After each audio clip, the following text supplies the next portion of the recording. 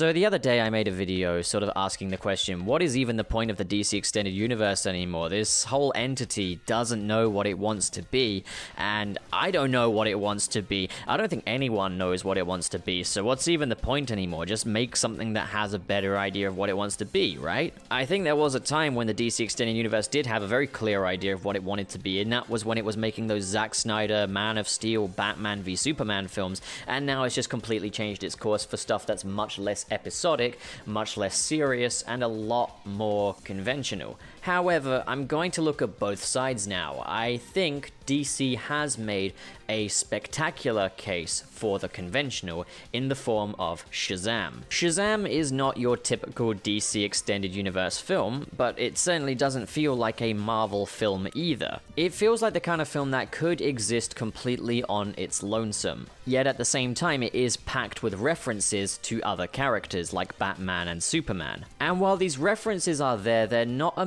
mandatory part of the storytelling so much as they are a part of the world building of this film. In short, Shazam would have been a pretty perfect jumping off point for a DC extended universe. If this were the first film of DC's own cinematic universe, what Marvel is doing, this would be a great film to start that with. Now, this video essay will contain spoilers for the movie Shazam, so if you haven't seen Shazam yet, I would suggest not watching this video. Otherwise, I hope you have as much fun watching this video as I did making it. Do you remember that time in Spider-Man 2 when J. Jonah Jameson was trying to come up with names for Dr. Octopus, and he was suggested Doctor Strange, and he said, That's great, but it's taken.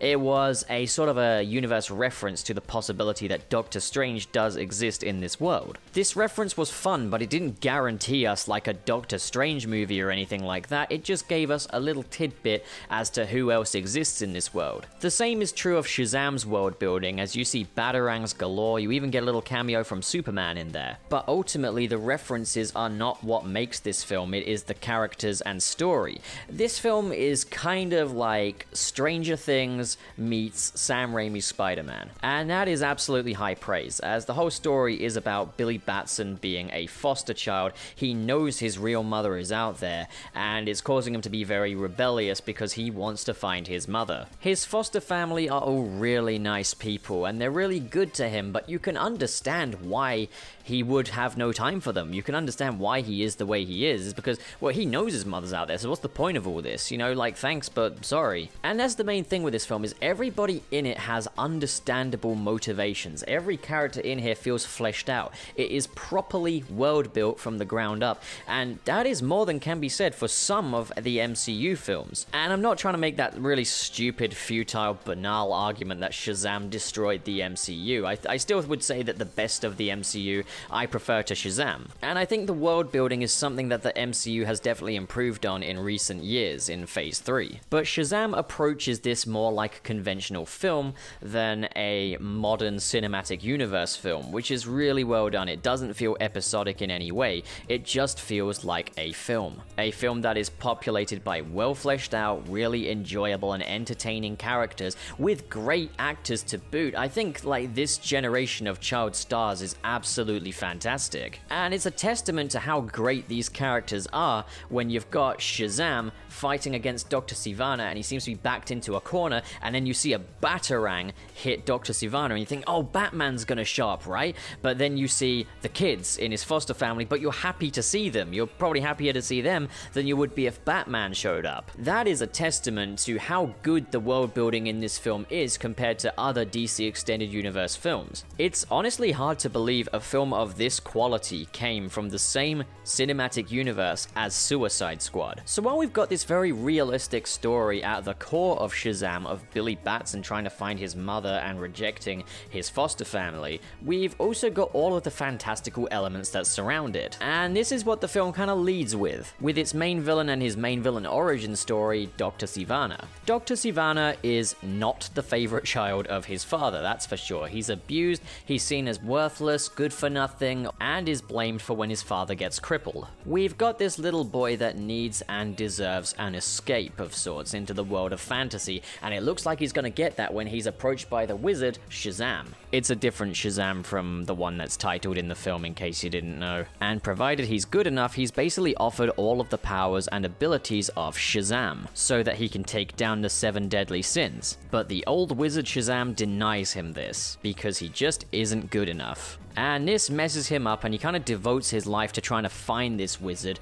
and trying to gain that power that he missed out on the first time. His research is successful, but rather than gain the powers of Shazam, he instead goes to pledge his allegiance with the seven deadly sins and gains their power instead, taking revenge on his father, his brother, and all who oppose him. And thus, the old wizard finds himself a new champion in the form of Billy Batson who then goes up to take on the mantle of Shazam. So the powers of Shazam is that it transforms you into basically your physical peak and gives you superpowers. So that physical peak being about the time that you're in your 20s. So he gets the body of an adult, but he's still got the mind of a child. So if you went into this assuming that Shazam would be a bit like Deadpool and that he's a very jokey comedic superhero character, it's definitely not that. It's not like a parody of superheroes or anything like that. It is instead a superhero with the mind of a child. It is a completely different thing. But there's still plenty of comedy that goes with that. Now, while Billy Batson is Shazam, he's obviously got a lot of questions like, what the hell is this power? Where did it come from? What am I even supposed to do with this?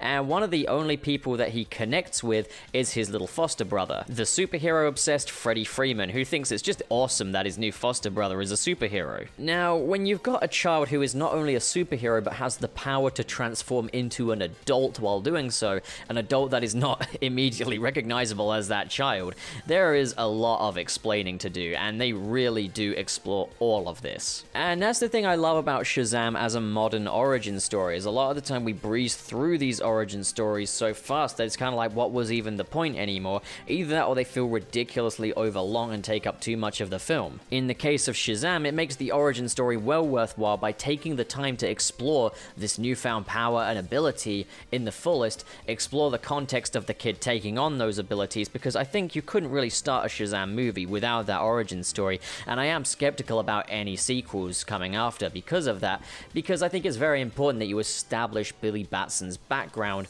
before going into the Shazam stuff so you can understand that the most important thing about Shazam is that he's not an adult, he's not an ordinary superhero, he is a child. But I think one of my favorite parts about this origin story is just Billy and Freddy exploring the joys of adulthood. Basically, Freddy sends Shazam in to go and buy some beer, and I'm uh, sorry, but like this is the most memorable quote from the film for me, and I know it's in all the trailers and stuff, but I laughed way harder than I expected to on a flight because I saw this film on a flight.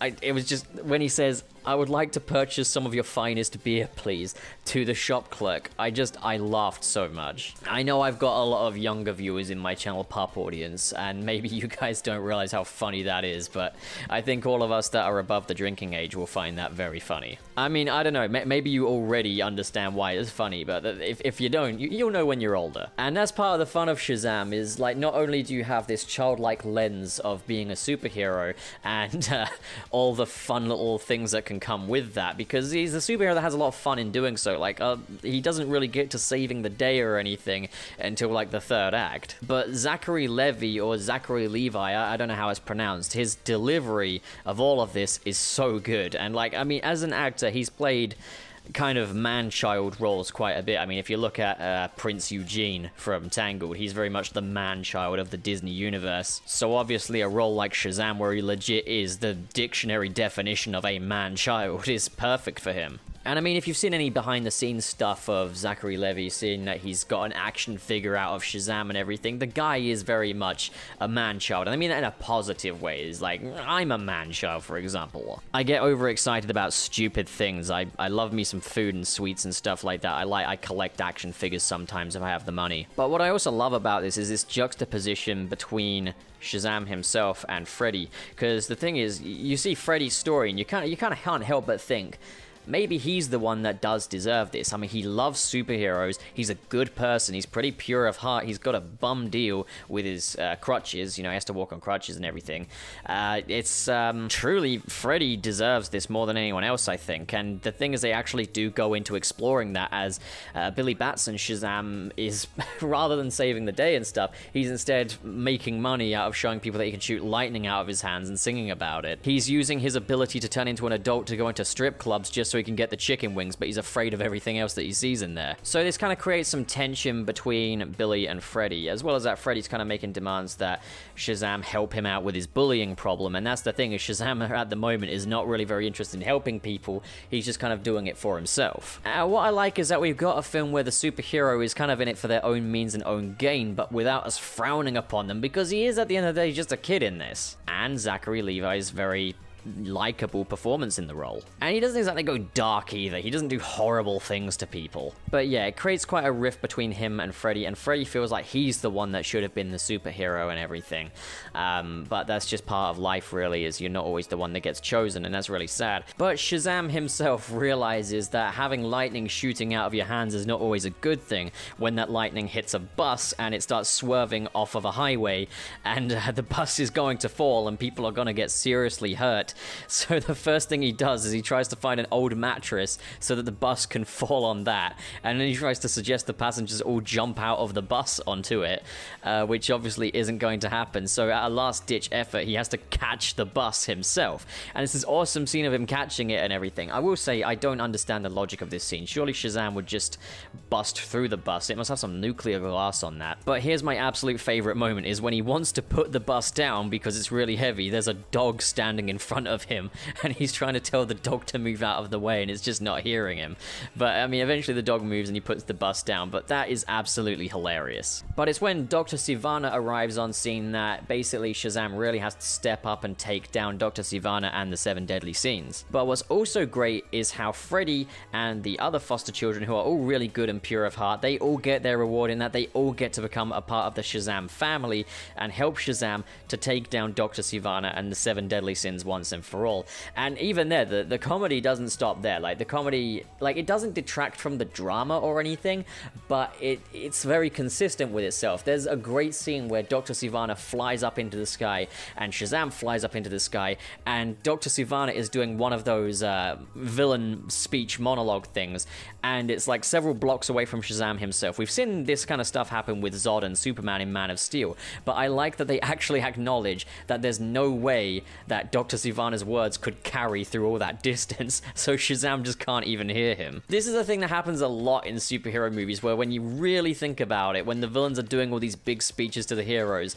the, the hero is so far away, there is no way the hero should ever be able to hear them. Like, I think uh, the Green Goblin's sadistic choice in Spider-Man 1, Green Goblin's right at the top of the Brooklyn Bridge, Spider-Man is like miles away. That's not a criticism leveled at that superhero trope or anything, it's just me appreciating that Shazam actually does this. Now, I've been kind of talking about the comedy aspect and the really character-driven stuff here. Uh, what I will say is there are some great emotional beats in this too. There's a bit where basically Billy Batson's foster family find his mother for him and he travels all that way to go meet her. And you kind of expect it to be this wonderful reunion of sorts, but what it is is basically he finds her to find out that she basically let him go missing and deliberately didn't find him on purpose because it's her life, whatever she wants to do. That kind of hits home. And I just love that subtle roast that Billy Batson gives as he leaves, where it's like, okay, well, I've got to go get back to my real family now, then I guess. That's the point where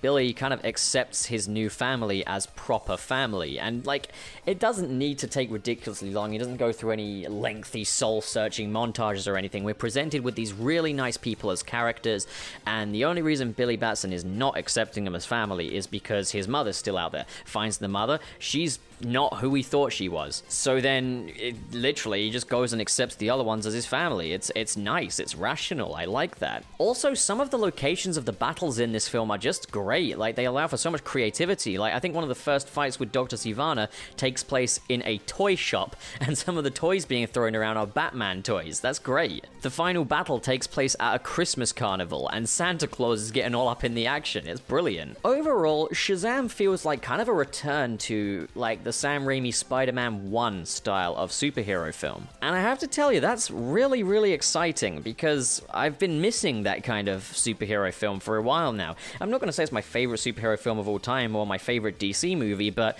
I think, like, how conventional this film is by today's standards is what makes it unconventional. But you know what's also really awesome to see is that the director David F. Sandberg it, less than 10 years ago, he was making films on YouTube. And like, look how much he's achieved. Like, he started out on YouTube, and not only do we have a film, like a big budget feature film directed by a guy that got his start on YouTube and social media, it's actually really, really good. So it kind of feels like, in some regard, it's like he's one of us. Overall, Shazam all around is just a win for superhero movies. It's a win for conventional filmmaking. It's a win for young filmmakers. Although I will say, those end credits are. I'm surprised I didn't get sued. I mean, a Ramones song with like scrapbook drawings over the credits? Aha, where have I seen that before? What do you guys think? Did you enjoy Shazam? Comment below and discuss. And as always, if you enjoyed this video and you want to see more like it, don't forget to hit subscribe, hit the like button. It's 420 as I'm recording this, and in the description below are links to my Patreon and my Discord. Sorry if the videos haven't been quite on the same standard as usual, I am jet lagged to hell. This video is brought to you by Zentai Zentai for all your cosplay needs. Link is in the description below and they are very cool and good. Cosplay your favorite characters or send in one of your own designs. Affordable prices and very high quality. Made to order and made to measure. But most of all, made to be heckin' awesome. If you couldn't already tell. Guys, can you believe where we are now and where we started? How long ago it was that Channel Pup, or Channel Go even, came about? Because it really wasn't that long when you think about it. Can you believe the amount of support I've received from this community, from from all of you subscribing to the channel and everything? It's it's unreal. It's a dream come true for me. But behind the YouTubers you watch usually comes a bit of a truth is that they're often dirt poor. Now, I've had the good fortune of being able to grow this YouTube channel and hopefully turn it into a career, but I'm gonna need a little bit of help along the way to even the odds to make ends meet, so that I can use all of the possible time that I have to make videos for you guys as opposed to doing something mundane for barely enough money to make it worth its while. I've done all that. I've lived that life. The fact is, together we all built Channel Pup. We made it what it is today, and I want to keep the ball rolling on that. I don't ever want to stop doing this because this is the most gratifying job I've ever had, and I think the most pleasurable hobby anyone could ever have. I don't take any of the support that I receive from you guys for granted, but if in any way you're wondering if maybe you could do a little more for the channel even, then I want to direct you to the Patreon link in the description below. It would mean the world to me to have your support via Patreon. It can help me to make ends meet. It can help me to better my content. It can help me to have more time to really work on this stuff. But you know, I'm not just going to take your support and run. No way, Jose. I've uh, in the Patreon, you can access exclusive videos via the Pups Project Room playlist, where you can see different projects I've been working on or have worked on that have either not made it to YouTube for general viewing or have been cancelled, or, well, you can get a little view of the process that goes behind the Channel Pup videos and productions. As well as that, you tend to get advanced previews of the bigger Channel Pup projects, our tentpole event projects. If you've seen Marvelous Tales of Spider-Man, you'll be aware that that was released on the Patreon first, and uh, 20 days later approximately was released for general viewing on YouTube. That's not the only time I'm gonna do this. But you know what? If you can't do the Patreon or are just not interested in doing the Patreon, I fully understand. Like, it, it's, it's still a big ask in my opinion. And what counts most is your support. So as always, thank you so much, guys. I've been Channel Pup, and I will think of a better catchphrase next time. Now, please